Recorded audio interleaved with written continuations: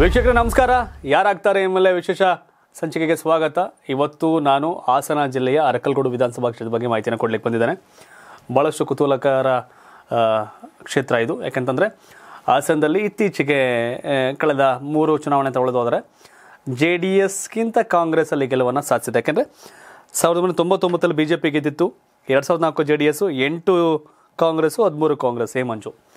ದೇವೇಗೌಡರ ಫ್ಯಾಮಿಲಿ ವಿರುದ್ಧ ತೊಡೆ ತಟ್ಟಿ ರಾಜಕಾರಣ ಮಾಡುವಂಥ ಎ ಮಂಜು ಕ್ಷೇತ್ರ ಇದು. ಆದರೆ ಅವರು ಈ ಸರಿ ತೊಡೆ ತಟ್ಟಕ್ಕೆ ಕ್ಷೇತ್ರದಲ್ಲಿ ಯಾವ ಪಾರ್ಟಿ ಟಿಕೆಟ್ ಕೂಡ ಅವ್ರಿಗೆ ಸಿಗ್ತಾ ಇಲ್ಲ. ಕಾಂಗ್ರೆಸ್ ಟಿಕೆಟ್ ಪಡೆಯೋಕೆ ಎ ಮಂಜು ಬಳಸು ಸರ್ಕಸ್ ಮಾಡ್ತಾ ಇದ್ದಾರೆ ಆಗ್ತಾ ಇಲ್ಲ. ಪರಿಷತ್ ಚುನಾವಣೆ ವೇಳೆ ಬಿ ಜೆ ಪಿಗೆ ಗುಡ್ ಬೈ ಹೇಳಿ ಕಾಂಗ್ರೆಸ್ ಸೇರಿಕೊಂಡಿದ್ರು. ಅಂದರೆ ಅಫಿಷಿಯಲ್ ಅನ್ಅಫಿಷಿಯಲಿ ಮಗನಿಗೆ ಕೊಡಗು ಟಿಕೆಟ್ ಕೊಟ್ಟರು ಅಲ್ಲೂ ಕೂಡ ಮಗ ಸೋತ.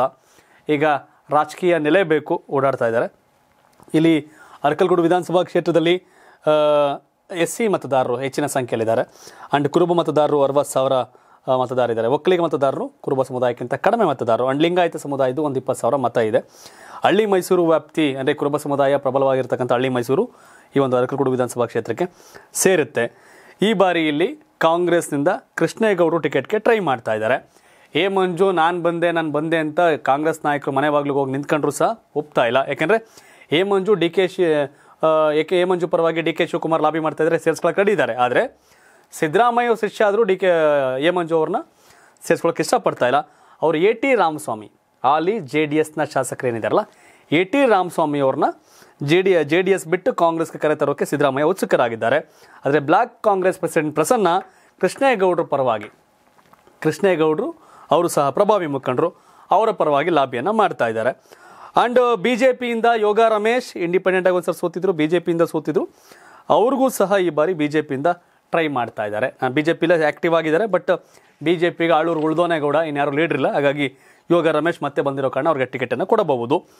ಬಟ್ ಇಪ್ಪತ್ತ್ಮೂರು ಚುನಾವಣೆ ಏನು ಎತ್ತ ಅಂತ ಮತ್ತೆ ಹೇಳ್ತೀನಿ. ಅದಕ್ಕಿಂತ ಮುಂಚಿತವಾಗಿ ಅರಕಲ್ಗೂಡು ಕ್ಷೇತ್ರ ಭಾಳ ವಿಚಿತ್ರ, ವಿಭಿನ್ನ, ವಿಶೇಷ.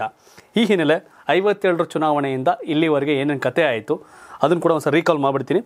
ಸಾವಿರದ ಒಂಬೈನೂರ ಐವತ್ತೇಳರಲ್ಲಿ ಪುಟ್ಟಸ್ವಾಮಿ ಗೌಡರು ಇಲ್ಲಿ ಪಕ್ಷೇತರರಾಗಿ ಗೆಲ್ತಾರೆ. ಅರವತ್ತೆರಡರ ಚುನಾವಣೆಯಲ್ಲಿ ತಿಮ್ಮಪ್ಪ ಗೌಡರು ಕಾಂಗ್ರೆಸ್ಸಿಂದ ಗೆಲ್ತಾರೆ. ಅರವತ್ತೆರಡರ ಚುನಾವಣೆಯಲ್ಲಿ ಎಚ್ ಎನ್ ನಂಜೇಗೌಡರು ಇಲ್ಲಿ ಚುನಾವಣೆ ಗೆಲ್ತಾರೆ. ಎಚ್ ಎನ್ ನಂಜೇಗೌಡರು ಭಾಳ ಹಿರಿಯ ರಾಜಕಾರಣಿ, ಕರ್ನಾಟಕದ ರಾಜಕಾರಣಕ್ಕೆ ಮೆರಗನ್ನು ತಂದುಕೊಟ್ಟವರು. ಸಾವಿರದ ಒಂಬೈನೂರ ಎಪ್ಪತ್ತೆರಡರಲ್ಲಿ ಮತ್ತೆ ಎಚ್ ಎನ್ ನಂಜೇಗೌಡರು ಕಾಂಗ್ರೆಸ್ಸಿಂದ ಗೆಲ್ತಾರೆ. ಜೊತೆಗೆ ಎಪ್ಪತ್ತೆಂಟರ ಚುನಾವಣೆ ವೇಳೆಗೆ ಅವ್ರು ಸೋಲ್ತಾರೆ. ಮಲ್ಲಪ್ಪ, ಕೆ ಬಿ ಗೆಲ್ತಾರೆ. ಜನತಾ ಪಕ್ಷದಿಂದ ಎಂಬತ್ಮೂರಲ್ಲಿ ಮತ್ತೆ ಮಲ್ಲಪ್ಪ, ಕೆ ಬಿ ಎರಡನೇ ಬಾರಿ ಜನತಾ ಪಕ್ಷದಿಂದ ಗೆಲ್ತಾರೆ.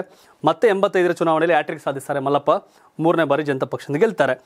ಎಂಬತ್ತೊಂಬತ್ತರ ಚುನಾವಣೆ ವೇಳೆಗೆ ಕಾಂಗ್ರೆಸ್ನಿಂದ ಎ ಟಿ ರಾಮಸ್ವಾಮಿ, ಪ್ರಸ್ತುತ ಜೆ ಡಿ ಎಸ್ ಶಾಸಕರೇನಿದ್ದಾರಲ್ಲ ಅವರು ಎಂಬತ್ತೊಂಬತ್ತರ ಚುನಾವಣೆಯಲ್ಲಿ ಇಲ್ಲಿ ಕಾಂಗ್ರೆಸ್ಸಿಂದ ಆಯ್ಕೆ ಆಗ್ತಾರೆ. ತೊಂಬತ್ನಾಲ್ಕರ ಚುನಾವಣೆಯಲ್ಲಿ ಎ ಟಿ ರಾಮಸ್ವಾಮಿ ಮತ್ತೆ ಕಾಂಗ್ರೆಸ್ಸಿಂದ ಇಲ್ಲಿ ಆಯ್ಕೆ ಆಗ್ತಾರೆ. ಮೂವತ್ತೆಂಟು ಸಾವಿರ ಮತ ಪಡೀತಾರೆ. ಎ ಮಂಜು ಬಿ ಜೆ ಪಿಯಿಂದ ಕಂಟೆಸ್ಟ್ ಮಾಡಿ ಮೂವತ್ತೆರಡು ಸಾವಿರ ಮತ ಪಡೀತಾರೆ. ಎ ಮಂಜುಗೆ ಏನು ಬಿ ಜೆ ಪಿ ಒಸ್ಸಲ್ಲ. ಎ ಮಂಜು ತೊಂಬತ್ತ ನಾಲ್ಕರ ಚುನಾವಣೆಯಲ್ಲಿ ಪಿಯಿಂದ ಕಂಟೆಸ್ಟ್ ಮಾಡಿ ಮೂವತ್ತೆರಡು ಸಾವಿರ ಓಟ್ ಪಡ್ಕೊಂಡಿದ್ರು. ಅದರ ಸತತ ಪರಿಶ್ರಮ ಹಾಕಿ ತೊಂಬತ್ತೊಂಬತ್ತರ ಚುನಾವಣೆ ವೇಳೆಗೆ ಎ ಮಂಜು ಬಿ ಜೆ ಪಿಯಿಂದ ಐವತ್ತ್ಮೂರು ಸಾವಿರ ಮತ ಪಡೆದು ಆಯ್ಕೆ ಆಗ್ತಾರೆ. ಎ ಟಿ ರಾಮಸ್ವಾಮಿ ಎರಡು ಸಾರಿ ಎಂ ಎಲ್ ಎ ಆಗಿದ್ದವರು. ಕಾಂಗ್ರೆಸ್ಸಿಂದ ಮೂವತ್ತೆಂಟು ಸಾವಿರ ಓಟ್ ಪಡೆದು ಸೋಲ್ತಾರೆ. ಜೆ ಡಿ ಎಸ್ನ ಮಲ್ಲಪ್ಪ ಮಲ್ಲಪ್ಪ ಅವರು ಎಂಟು ಸಾವಿರದ ಒಂಬೈನೂರು ಮತವನ್ನು ಪಡಿತಾರೆ. ಮೂರನೇ ಪ್ಲೇಸ್ಗೆ ಹೋಗ್ತಾರೆ. ಎರಡು ಸಾವಿರದ ನಾಲ್ಕರ ವೇಳೆಗೆ ಏನು ಕಾಂಗ್ರೆಸ್ಸಲ್ಲಿದ್ದಂಥ ಎ ಟಿ ರಾಮಸ್ವಾಮಿ ಅವರು ಜೆ ಡಿ ಎಸ್ಗೆ ಬಂದು ಕಂಟೆಸ್ಟ್ ಮಾಡ್ತಾರೆ. ಎ ಮಂಜು ಕಾಂಗ್ರೆಸ್ಗೆ ಹೋಗ್ತಾರೆ. ಯಾಕೆಂದರೆ ಎ ಮಂಜು ಒಂದು ಸ್ವಲ್ಪ ಈ ರಾಜ್ಯಸಭಾ ಚುನಾವಣೆಯಲ್ಲಿ ಕ್ರಾಸ್ ವೋಟಿಂಗ್ ಮಾಡಿರ್ತಾರೆ. ಈ ಹಿನ್ನೆಲೆ ಅವ್ರನ್ನ ಪಕ್ಷದಿಂದ ಆಚೆ ಹಾಕಿರ್ತಾರೆ. ಅವರು ಬಂದು ಇಲ್ಲಿ ಕಾಂಗ್ರೆಸ್ಸಿಂದ ಕಂಟೆಸ್ಟ್ ಮಾಡ್ತಾರೆ. ಎ ಮಂಜು. ಆದರೆ ಎ ಟಿ ರಾಮಸ್ವಾಮಿ ಅವರು ಜೆ ಡಿ ಎಸ್ನಿಂದ ಚುನಾವಣೆ ನಿಂತು ನಲವತ್ತೇಳು ಸಾವಿರ ಓಟ್ ಪಡೆದು ಗೆಲ್ತಾರೆ. ಎ ಮಂಜು ನಲವತ್ನಾಲ್ಕು ಸಾವಿರ ಮತವನ್ನು ಪಡಿತಾರೆ. ನಂತರ ಬಿ ಎಸ್ ಪಿಯಿಂದ ಬಿ ಸಿ ರಾಜೇಶ್ ಆರು ಸಾವಿರ ಓಟ್ ಪಡೆದ್ರೆ ಬಿ ಜೆ ಪಿಯ ವಾಗೀಶ್ ಪ್ರಸಾದ್ ಎರಡು ಸಾವಿರ ಓಟ್ ಪಡಿತಾರೆ. ಎ ಮಂಜು ಐವತ್ತ್ಮೂರು ಸಾವಿರ ಓಟ್ ಪಡೆದು ಗೆದ್ದಿರ್ತಾರೆ. ತೊಂಬತ್ತೊಂಬತ್ತರಲ್ಲಿ. ನಾಲ್ಕರ ವೇಳೆಗೆ ಬಿ ಜೆ ಪಿ ಕ್ಯಾಂಡಿಡೇಟ್ ಪಡೆಯುವಂಥ ಮತ ಎರಡು ಸಾವಿರದ ಮುನ್ನೂರು. ಅಂದರೆ ಕೆಲವೊಂದು ಕ್ಷೇತ್ರಗಳಲ್ಲಿ ಪಕ್ಷಕ್ಕಿಂತ ವ್ಯಕ್ತಿ ಸ್ಟ್ರಾಂಗ್ ಆಗಿರ್ತಾರೆ. ಅಂಥ ಸಂದರ್ಭದಲ್ಲಿ ಪಕ್ಷ ಪಕ್ಷ ಬಿಟ್ಟಾಗ ಆ ವ್ಯಕ್ತಿ ಆ ಪಕ್ಷ ವೀಕ್ ಆಗುತ್ತೆ ಅನ್ನೋದಕ್ಕೆ ಬೆಸ್ಟ್ ಎಕ್ಸಾಂಪಲ್ ಇದೆ. ಎಂಟರ ಚುನಾವಣೆಯಲ್ಲಿ ಮತ್ತೆ ಎ ಮಂಜು ಕಾಂಗ್ರೆಸ್ಸಿಂದ ಸ್ಪರ್ಧೆ ಮಾಡಿ ಎ ಟಿ ರಾಮಸ್ವಾಮಿ ಅವರ ವಿರುದ್ಧ ಗೆಲ್ತಾರೆ. ಅರವತ್ತೆಂಟು ಸಾವಿರ ಓಟ್ ಪಡೆದ್ರೆ ಎ ಮಂಜು ಕಾಂಗ್ರೆಸ್ಸಿಂದ ಆದಾಗ ಎಂಟರ ಚುನಾವಣೆ ಸಂದರ್ಭದಲ್ಲಿ ಎ ಟಿ ರಾಮಸ್ವಾಮಿ ಅವರು ಜೆ ಡಿ ಎಸ್ಸಿಂದ ಕಂಟೆಸ್ಟ್ ಮಾಡಿ ಐವತ್ತೊಂಬತ್ತು ಸಾವಿರ ಓಟ್ ಪಡಿತಾರೆ. ಬಿ ಜೆ ಪಿಯಿಂದ ನಂಜುಂಡೇಗೌಡರು ಒಂಬತ್ತು ಸಾವಿರದಿಂದ ಓಟನ್ನು ಪಡಿತಾರೆ. ಎರಡು ಸಾವಿರದ ಹದಿಮೂರರ ವೇಳೆ ಸಿದ್ದರಾಮಯ್ಯ ಮುಖ್ಯಮಂತ್ರಿ ಸಂದರ್ಭ ಎ ಎರಡನೇ ಬಾರಿ ಆಯ್ಕೆ ಆಗ್ತಾರೆ ಕಾಂಗ್ರೆಸ್ಸಿಂದ. ಅದು ತೊಂಬತ್ತೊಂಬತ್ತರ ಆಯ್ಕೆ ಸೇರಿದ್ರೆ ಅವರು ಮೂರನೇ ಬಾರಿ ಶಾಸಕರು. ಅರವತ್ತೊಂದು ಸಾವಿರ ಮತವನ್ನು ಪಡಿತಾರೆ. ಎ ಟಿ ರಾಮಸ್ವಾಮಿ ಅವರು ಐವತ್ತೆರಡು ಸಾವಿರ ಮತವನ್ನು ಪಡಿತಾರೆ, ಸೋಲ್ತಾರೆ. ನಂತರ ಯೋಗ ರಮೇಶ್ ಇಂಡಿಪೆಂಡೆಂಟ್ ಕಂಟೆಸ್ಟ್ ಮಾಡಿ ಮೂವತ್ತೆರಡು ಸಾವಿರ ಓಟ್ ಪಡಿತಾರೆ ಹದಿಮೂರರಲ್ಲಿ. ಪುಟ್ಸ್ವಾಮಿ ಅವರು ಕೆ ಜೆ ಪಿಯಿಂದ ಹನ್ನೆರಡು ಸಾವಿರ vote, B C Rajesh B J ಪಿಯಿಂದ ಎರಡು ಸಾವಿರದ ಏಳ್ನೂರು ಓಟು. ಹದಿನೆಂಟರ ವೇಳೆಗೆ ಎ ಟಿ ರಾಮಸ್ವಾಮಿ ಅವರು ಜೆ ಡಿ ಎಸ್ಸಿಂದ ಕಂಟೆಸ್ಟ್ ಮಾಡಿ ಎಂಬತ್ತೈದು ಸಾವಿರ ಓಟ್ ಪಡೆದರೆ ಎ ಮಂಜು ಕಾಂಗ್ರೆಸ್ಸಿಂದ ಕಂಟೆಸ್ಟ್ ಮಾಡಿ ಎಪ್ಪತ್ನಾಲ್ಕು ಸಾವಿರ ಓಟ್ ಪಡಿತಾರೆ. ಯೋಗ ರಮೇಶ್ ಬಿ ಜೆ ಪಿಯಿಂದ ಕಂಟೆಸ್ಟ್ ಮಾಡಿ ಇಪ್ಪತ್ತೆರಡು ಸಾವಿರ ಓಟನ್ನು ಪಡೆದು ಮೂರನೇ ಪ್ಲೇಸ್ಗೆ ಹೋಗ್ತಾರೆ.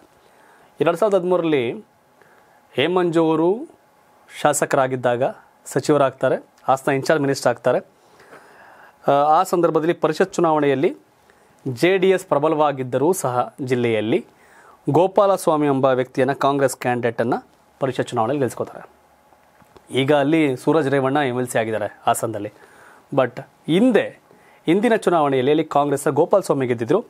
ಹೇಮಂಜು ಒಂದು ರೀತಿಯ ರೆಬಲ್ ರಾಜಕಾರಣಿ, ದೇವೇಗೌಡರ ಫ್ಯಾಮಿಲಿ ವಿರುದ್ಧ ತೊಡೆತಟ್ಟಿ ರಾಜಕಾರಣ ಮಾಡುವಂಥ ರಾಜಕಾರಣಿ ಹೇಮಂಜು. ಬಟ್ ಹೇಮಂಜು ಯಾಕೆ ಮತ್ತೆ ಮತ್ತೆ ಕಾಂಗ್ರೆಸ್ಗೆ ಹೋಗಬೇಕು ಅಂತ ಕಾಯ್ತಾ ಇದ್ದಾರೆ ಅಂದರೆ ನಾನು ಆಗಲೇ ಹೇಳಿದೆ, ಇಲ್ಲಿ ಕುರುಬ ಸಮುದಾಯದ ನಲವತ್ತು ಸಾವಿರ ಓಟಿದೆ ಹಳ್ಳಿ ಮೈಸೂರು ಕುರುಬ ಸಮುದಾಯದ ಪ್ರಬಲ ಇರತಕ್ಕಂಥ ಕ್ಷೇತ್ರ, ಅಂದರೆ ಭಾಗ. ಒಕ್ಕಲಿಗ ಸಮುದಾಯ ಹಾಸನದಲ್ಲಿ ಪ್ರಬಲವಾಗಿದ್ದರು ಈ ಬೇಲೂರಲ್ಲಿ ಒಕ್ಕಲಿಗರ ಸಂಖ್ಯೆ ಕಡಿಮೆ ಅರ್ಸಿಕೆರೆಯಲ್ಲಿ ಕಡಿಮೆ ಆ್ಯಂಡ್ ಅರ್ಕಲ್ಗೂಡಲ್ಲಿ ಕಡಿಮೆ. ಇನ್ನು ಹೊಳೆನರಸೀಪುರ ಹಾಸನ, ಚನ್ನರಾಯಪಟ್ಟಣ, ಇಲ್ಲಿ ಒಕ್ಕಲಿಗ ಸಮುದಾಯ ಜಾಸ್ತಿ ಇದೆ.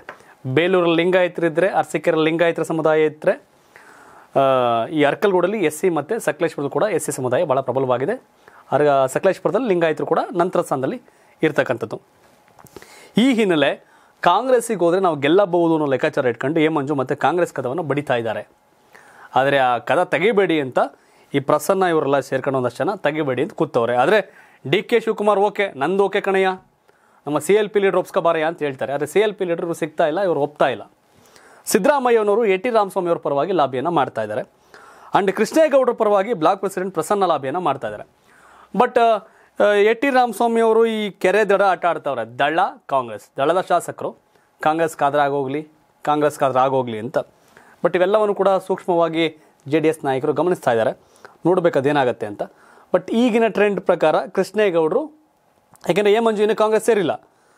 ಎ ಟಿ ರಾಮಸ್ವಾಮಿ ಅವರು ಇನ್ನೂ ಜೆ ಡಿ ಎಸ್ ಶಾಸಕರು. ಹಾಗಾಗಿ ಸದ್ಯಕ್ಕೆ ಕಾಂಗ್ರೆಸ್ಸನ್ನು ಕೃಷ್ಣೇಗೌಡರು ರೆಪ್ರೆಸೆಂಟ್ ಮಾಡ್ತಾರೆ ಅಂತ ಹೇಳಲಾಗ್ತಿದೆ. ಎ ಟಿ ರಾಮಸ್ವಾಮಿ ಅವರಿಗೆ ಕಾಂಗ್ರೆಸ್ ಕದ ತೆರಲಿಲ್ಲ ಅಂತಂದರೆ ಜೆ ಡಿ ಎಸ್ನಲ್ಲೇ ಉಳ್ಕತ್ತಾರೆ ಯಾಕಂದರೆ ಜೆ ಡಿ ಎಸ್ಗೂ ಬೇರೆ ಪ್ರಬಲ ನಾಯಕರಿಲ್ಲದ ಕಾರಣ ಅಲ್ಲಿ. ಅಂದರೆ ಆಲ್ಟ ಗೆಲ್ಲುವಂಥ ಆಲ್ಟರ್ನೇಟಿವ್ ನಾಯಕರಿಲ್ಲದ ಕಾರಣ ಎ ಟಿ ರಾಮಸ್ವಾಮಿ ಮತ್ತೆ ಟಿಕೆಟ್ ಕೊಡಬಹುದು. ಆ್ಯಂಡ್ ಬಿ ಜೆ ಪಿಯಿಂದ ಯೋಗ ರಮೇಶ್ ಕಂಟೆಸ್ಟ್ ಮಾಡೋದು fix A Manju A Manju ಅವರು ಜೆ ಡಿ ಎಸ್ಗಂತೂ ಹೋಗಲ್ಲ. ಜೆ ಡಿ ಎಸ್ನ ಪಕ್ಕ ವಿರೋಧಿ. ಹಾಗಾಗಿ ಸಿಕ್ಕಿದ್ರೆ ಕಾಂಗ್ರೆಸ್ ಟಿಕೆಟು, ಸಿಕ್ಕಿಲ್ಲ ಅಂದರೆ ಇಂಡಿಪೆಂಡೆಂಟು. ಯಾಕೆಂದರೆ ಎ ಮಂಜು ಒಂದು ಸ್ವಲ್ಪ ಪವರ್ಫುಲ್ ಮನುಷ್ಯ. ರಾಜಕಾರಣದಲ್ಲಿ ಬಿ ಜೆ ಪಿಲಿ ಗೆದ್ದು ನಂತರ ಬಿ ಜೆ ಪಿ ಕೈ ಕೊಟ್ಟು ಕಾಂಗ್ರೆಸ್ಗೆ ಹೋಗಿ, ಕಾಂಗ್ರೆಸ್ ಬಿಟ್ಟು ಮತ್ತೆ ಮೊನ್ನೆ ಬಿ ಜೆ ಪಿಗೆ ಬಂದು ಈಗ ಮತ್ತೆ ಈಗ ಕಾಂಗ್ರೆಸ್ ಕದವನ್ನು ತರ್ತಾ ಇದ್ದಾರೆ. ರಾಜಕಾರಣದಲ್ಲಿ ನಾವು ಯಾರ್ದೋ ಹಿಂದೆ ನಿಂತರೆ ಫಾಲೋವರ್ ಆಗ್ತೀವಿ, ಮುಂದೆ ನಿಂತರೆ ಲೀಡ್ರ್ ಆಗ್ತೀವಿ. ಸೊ ಹಾಗಾಗಿ ಎ ಮಂಜು ಲೀಡ್ರೆ ಆ್ಯಂಡ್ ಕೃಷ್ಣೇಗೌಡರು ಯಾವ ಮಟ್ಟಿಗೆ ರಾಜಕೀಯ ಮಾಡ್ತಾರೆ ಅನ್ನೋದ್ರ ಮೇಲೆ ಕೃಷ್ಣೇಗೌಡರು ಎಷ್ಟು ಪ್ರಬಲವಾಗಿ ಟಿಕೆಟ್ಗೆ ಅಕ್ಕೊತ್ತಾಯ ಮಣ್ಣೆ ಮಾಡ್ತಾರೆ ಅನ್ನೋದ್ರ ಮೇಲೆ ಅರ್ಕಲ್ಗೂಡು ಯಾರಾಗ್ತಾರೆ ಎಂ ಎಲ್ ಎಗೆ ಉತ್ತರ ಸಿಗುತ್ತೆ. ಬಟ್ ಸದ್ಯದ ಸನ್ನಿವೇಶದಲ್ಲಿ compare to J D S J D S ಶಾಸಕರೇ ಎ ಟಿ ರಾಮಸ್ವಾಮಿ ಅವರೇ I am ready to join ಅಂತ ಕೂತಿದ್ದಾರೆ, Siddaramaiah ಒಪ್ಕೊಂಡಿದ್ದಾರೆ. But D K A Manju ಪರವಾಗಿ ಕೃಷ್ಣೇಗೌಡರ ಪರವಾಗಿ ಬ್ಲ್ಯಾಕ್ ಪ್ರೆಸಿಡೆಂಟ್ ಪ್ರಸನ್ನ, ಮತ್ತು ಬೇರೆ ಬೇರೆ ಇದೆ, ಗೊಂದಗಳು ನಡೀತಾ ಇದೆ. ಕೃಷ್ಣೇಗೌಡರು A T Ramaswamy, A Manju, ಹಾಗೆ ಯೋಗ ರಮೇಶ್, ಈ ನಾಲ್ವರಲ್ಲಿ ಯಾರು ಉತ್ತಮರು? ಅಂದರೆ ಯಾರು ಎಂ ಎಲ್ ಎ ಆಗಲಿಕ್ಕೆ ಬೆಸ್ಟು ಒಂದು ಪ್ರಶ್ನೆ. ಆದರೆ ಯಾರು ಎಂ ಎಲ್ ಎ ಆಗ್ತಾರೆ ಅನ್ನೋದು ಎರಡನೇ ಪ್ರಶ್ನೆ. ನಿಮ್ಮ ಅಭಿಪ್ರಾಯವನ್ನು ಕಾಮೆಂಟ್ ಮಾಡಿ. ತಿಳಿಸಿ. ಹಾಗೆ ಯಾರ್ಯಾರು ಈ ವಿಡಿಯೋನ ಯೂಟ್ಯೂಬಲ್ಲಿ ನೋಡ್ತಾ ಇದ್ದೀರಿ, ನಮ್ಮ ಚಾನಲ್ ಸಬ್ಸ್ಕ್ರೈಬ್ ಆಗಿ. ಯಾರ್ಯಾರು ಫೇಸ್ಬುಕ್ಕಲ್ಲಿ ನೋಡ್ತಿದ್ದೀರಿ, ನಮ್ಮ ಪೇಜನ್ನು ಫಾಲೋ ಮಾಡಿ ಅಂತ ಹೇಳ್ತಾ. ಯಾರಾಗ್ತಾರೆ ಎಂ ಎಲ್ ಎ? ಇವತ್ತಿನ ಅರಕಲ್ಗೂಡು ಸಂಚಿಕೆಯನ್ನು ಮುಗಿಸ್ತಾ ಇದ್ದೇನೆ. ನಾಳೆ ಮತ್ತೊಂದು ಸಂಚಿಕೆಯಲ್ಲಿ ಮತ್ತೊಂದು ಕ್ಷೇತ್ರದ ಬಗ್ಗೆ ವಿವರವಾದ ಮಾಹಿತಿಯನ್ನು ಕೊಡ್ತೇನೆ. ಅಲ್ಲಿವರೆಗೂ ನಮ್ಮ ಕರ್ನಾಟಕ ಟಿವಿಯ ಬೇರೆ ಬೇರೆ ಸುದ್ದಿಗಳನ್ನ ನೋಡ್ತಾ ಇರಿ ಅಂತ ಹೇಳ್ತಾ ನನ್ನ ಮಾತು ಮುಗಿಸ್ತೇನೆ. ಧನ್ಯವಾದ. ಇದು ಕರ್ನಾಟಕ ಟಿವಿ, ಕನ್ನಡಿಗರ ಧ್ವನಿ.